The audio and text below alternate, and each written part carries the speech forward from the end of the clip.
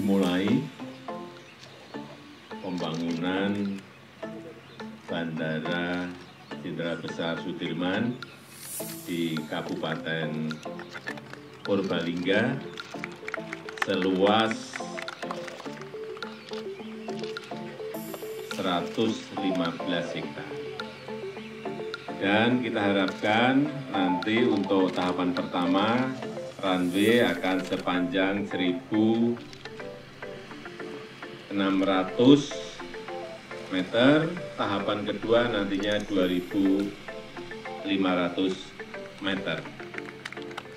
Dan kita harapkan ini nantinya juga dengan terminal seluas 3.000 meter persegi akan bisa menampung penumpang kurang lebih 300 ribu penumpang dalam setahunnya.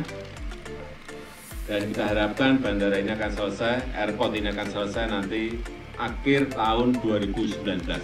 Selesai, insya Allah selesai.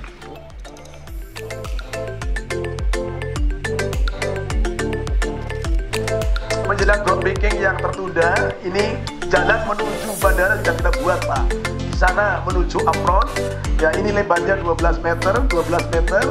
Kemudian pada saatnya nanti ya, jalan menuju bandara dari segala akses Banjarnegara, kemudian Banyumas maupun Kebumen tidak ada hambatan lagi Pak. Dan dengan mengucap Bismillahirrahmanirrahim, Bandara Jenderal Besar Sudirman pada pagi hari ini saya nyatakan resmi dimulai konstruksinya